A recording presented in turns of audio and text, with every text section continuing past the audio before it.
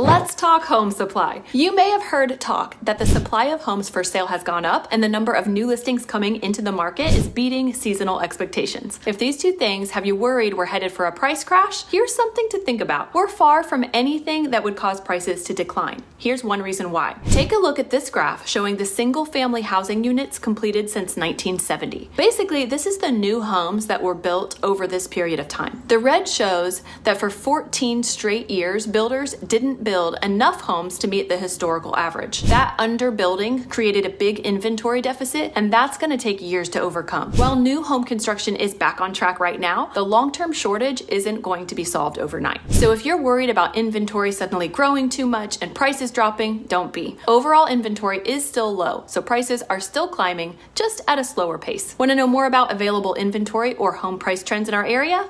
Let's connect.